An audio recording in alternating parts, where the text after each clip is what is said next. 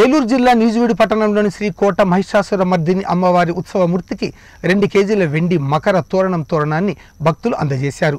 పట్టణానికి చెందిన కోడూరుపాటి శోభనం కుమారుడు కుటుంబ సమేతంగా వెళ్ళి మకర తోరణాన్ని ఆలయ అర్చకులకు అందజేశారు.